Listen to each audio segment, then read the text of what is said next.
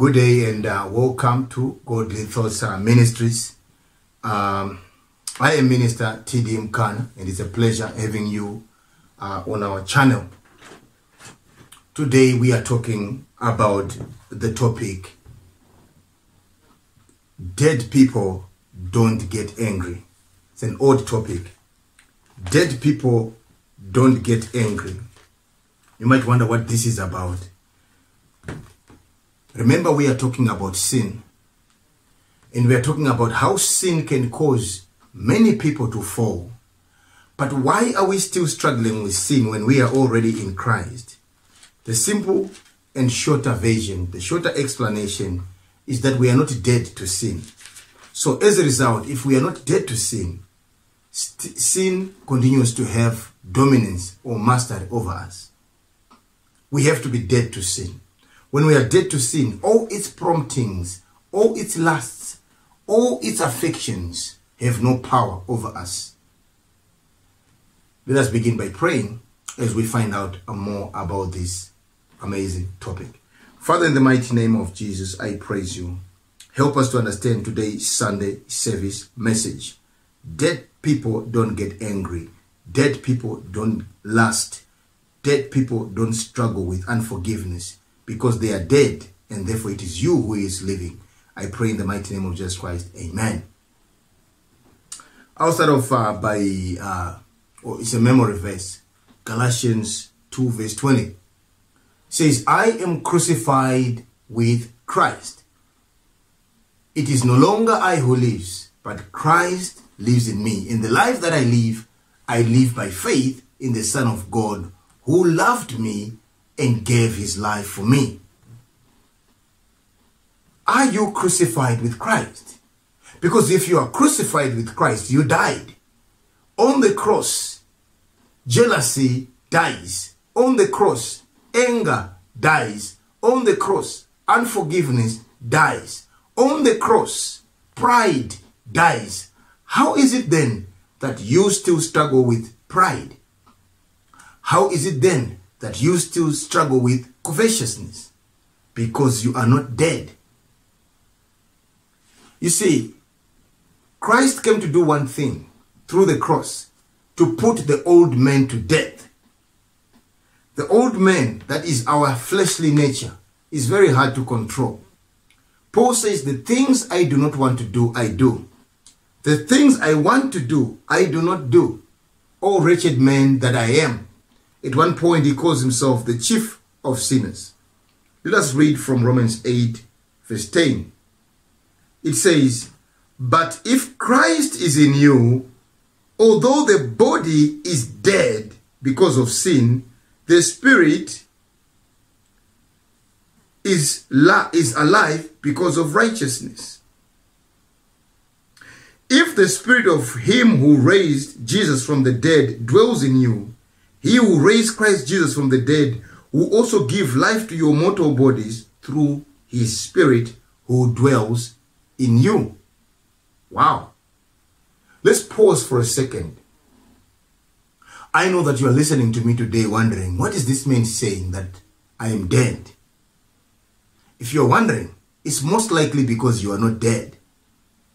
And the reality of the matter is that the things we struggle with in our body show that our bodies are very much alive. You cannot offer your body as a living sacrifice to Christ because your body is alive. It will simply get off from the altar. You can only offer yourself or your body as a living sacrifice if your body is dead, which means your greatest struggle, with your greatest fight is for the sinful man to die. The man who easily gets provoked, the man who keeps record of wrong, the man who lusts after different women although he is married, or the woman who gossips, or the woman who lusts after other men's money. Whatever it is, if you are not dead to sin, sin will have control over you. The body wants to be king. The body wants to be queen. I cannot imagine how many people call themselves king this, chief that, uh, lord this. That is what the body wants. The body wants to be sit on, seated on a throne and worshipped. The body does not want to submit to Christ. The body wants to rule. But how then can Christ rule along with your body? You cannot serve two masters. Either you put one to death and you allow one to reign. It is impossible to walk on two roads at the same time, especially in opposing lanes. Because the spirit is going right and the body is going left. The spirit is going right unto eternal life through Jesus. The body is going left unto death. Now, I will read again from Galatia, from Romans 6, uh, from verse 1. I want you to pay attention to this. What shall we say therefore? Shall we continue in sin that grace may increase? By no means. How can we who died to sin, who died to sin, still continue living in it? Do you not know that all of us who were baptized into Christ were baptized into his death? We were buried, therefore, with him by baptism into death, in, in order that, just as Christ was raised from dead by the glory of the Father, we too might walk in the newness of life. How can we continue living in sin when we are in fact dead to sin? There is only one explanation. We are alive to it. If you have got a partner who is cheating you in a relationship and you ask the partner to kill the relationship and the partner says i have killed the relationship but somehow text messages from the mistress continue to come in. Be sure of this. The so-called dead relationship is very much alive. You had a mistress. You had a relationship with the devil. You had a relationship with yourself, the self, the sinful flesh. You had a relationship with your past. Anytime you are offended, you quickly resuscitate or bring back to life the dead self. You put away the garment of righteousness and you put on the old self because you cannot be treated like that. Because you don't deserve to be treated like that. Some of the diseases that are in our body are caused by the self. If Mr. Self does not die, what happens is that Mr. Self prevents the spirit from living. You see, for the spirit to live, the flesh has to die. What is to live? To live is to be connected to God. To die is to be separated from God. So the spirit needs to be connected to God so that you can download the package for your existence here on earth. So that you can live a life that glorifies God. But you cannot live a life that glorifies God while you are in the body. Because Jesus said the flesh profiteth nothing. There is nothing to gain from the flesh. The flesh is dead. The flesh, whatever the flesh meditates on is about pleasure. It's about self-debasing things it's about rebellion against God because God wants the flesh held down and it, he wants the flesh to take a beating. He wants the flesh nailed down, nailed to the cross.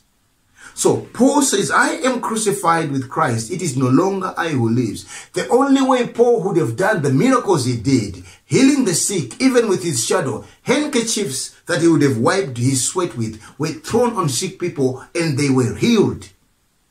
Dead people were raised. There was a church in Ephesus, in Corinth, everywhere. In Colossae, in Thessalonica. How is that possible? One man was turning the world upside, upside down for Jesus because he was dead. He just, he just became a meat suit and Jesus took the reins and he wore that suit called Paul and he did amazing things. Let me tell you, although Jesus Christ went to heaven, he still exists through us. His glory is extended through us. We are nothing but an extension of the kingdom of God into our, into our world. But you can never be an extension of God while you are in your flesh because the flesh glorifies sin.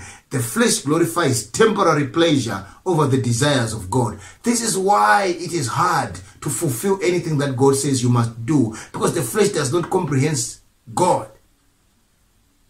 The flesh does not understand anything that God wants, only the spirit, because the spirit came from above. But the question is will the spirit go back to the Lord when you die? Or now it is tied down with hatred, unforgiveness, anger, lust, bitterness, filthy talk, and it will sink. I once uh, read a joke that angels fly because they are light. They are light, literally light, like a feather. This is what uh, uh, the joke meant. We don't fly because we are dense. We are dense because we are carrying in our hearts the people who wronged us. We are dense because we are carrying our pride. We are dense because we are carrying around the luggage of the many things we struggle to deal with in life. My brother, my sister, I invite you today to pray this prayer. Lord, crucify my flesh. Lord, kill the old self so that the spirit man can live. When we say the flesh must die, we don't mean physical death.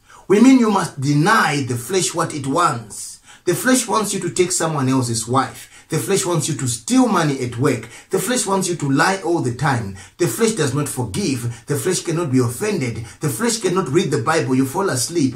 But whenever you deny the flesh whatever it wants, continuously, hailing only what the spirit wants, the spirit becomes alive. And when the spirit is in charge, it yearns after the Holy Spirit as a deer pants for the water. So my soul longs after thee.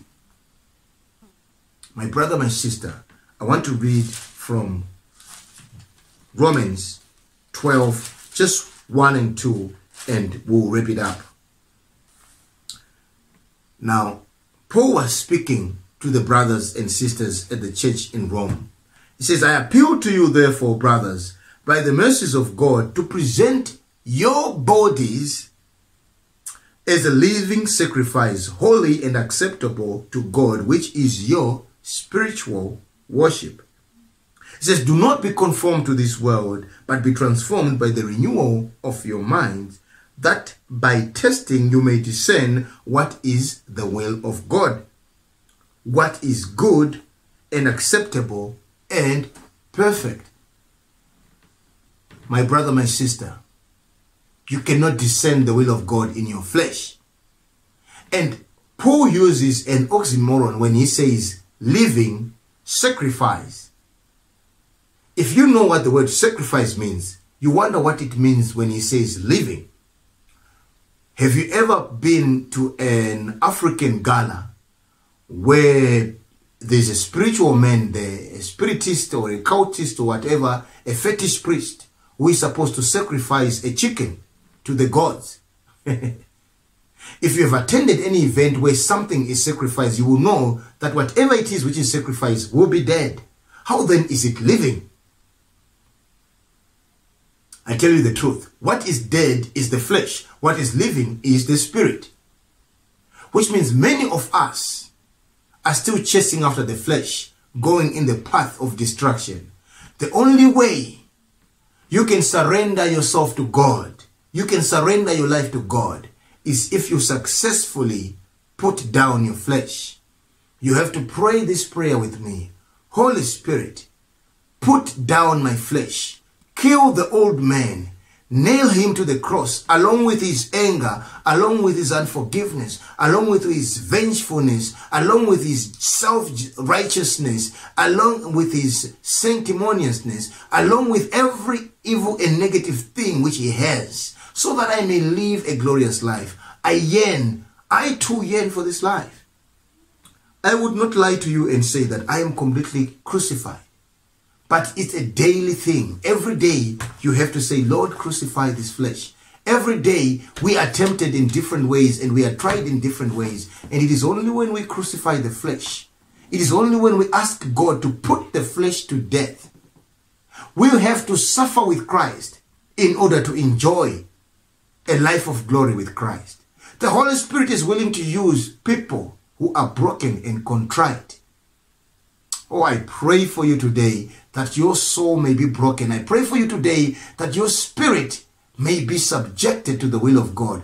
That can only happen when the body is taken from the throne. The throne on whom Jesus must dwell on. the throne of your heart. You have to allow people to hurt you. Yes, Jesus allowed them to. He had all the power to even cause an apocalypse. but he said, Father, forgive them for they do not know what they, they are doing. Are you going to forgive? I'm going to challenge you today to create room for people you know who are troublesome in your life, even those you do not know, to say, if he's going to wrong me, I will forgive him as many times as I can. So help me God. You have to give up your right to be right. You have to give up your right to never be wronged. You have to give up your right to never be taken advantage of. Sometimes, what seems like foolishness to the world is wisdom to God. I am Minister T.D. Mkana and I'm going to invite you in this prayer that I'm going to make, after which we'll close this service. Father, I pray that you crucify our flesh. I pray that you put us to death in our flesh. Our flesh cannot compete with your spirit because, Lord, you allow us to have our time. You want us to willingly put ourselves to death, to put ourselves on the altar, to be crucified along with Christ, so that Jesus can live within us, so that the body does not have any say. You said, if we are willing and obedient, we will eat the good of the land. Lord, it is a hard thing to deny ourselves our cravings. It is a hard thing to allow other people to make us look like a doormat, to be servants to other people when we can be leaders. But Lord, this is the path, the road which is narrow, the door which is narrow. And we are supposed to enter in through the door. Father, I pray, as narrow as this door is, it is going to squeeze us. It is going to remove every excess toxin that we have taken in our heart over the years. Help us, Lord, in the mighty name of Jesus. Crucify our flesh crucify the old self. In the mighty name of Jesus, I pray. Amen. I am Minister T.D. Kana. I am broadcasting from our Godly Thoughts Ministries and I am reporting for heaven. Have a blessed day.